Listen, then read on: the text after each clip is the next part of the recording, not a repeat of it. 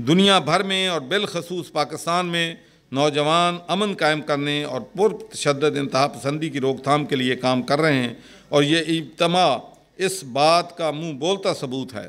हमें पहले से कहीं ज़्यादा पुरतशद इंतहा पसंदी के ख़ात्मे के लिए हर सतह पर नौजवानों की बामानी शिरकत की ज़रूरत है।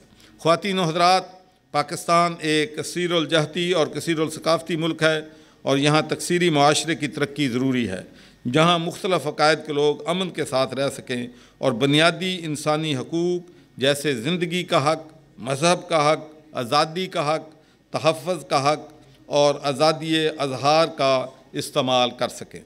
वज़ी अजम इमरान ख़ान की तरफ़ से कामयाब यवान प्रोग्राम इसी अमल का एक हिस्सा है, जहाँ नौजवानों को अमली तरक्की का हिस्सा बनाया जा रहा है।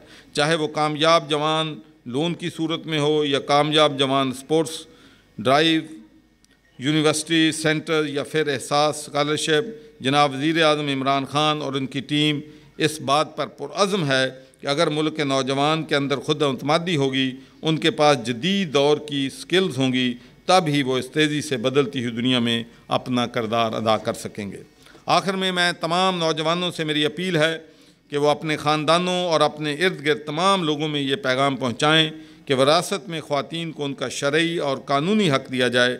ऐसा आखिर क्यों है कि बहन ही अपने वरासत के हक़ से दस्तरबार या महरूम हो? मेरे नज़दीक ये बड़ी ज़्यादती है और ऐसे किसी भी केस की सूरत में आप अपने इलाके में ख़ातून महसब के दफ्तर से रबता करें, जो कि बहुत ज़्यादा ताकत रखता है। और बहुत स्पीडी इंसाफ जो है यह अदारा देता है। और मुझे उम्मीद है कि ख़ातून महसब का अफसर इस सिलसिले में हर किस्म की मामनत फ्राहम करेगा।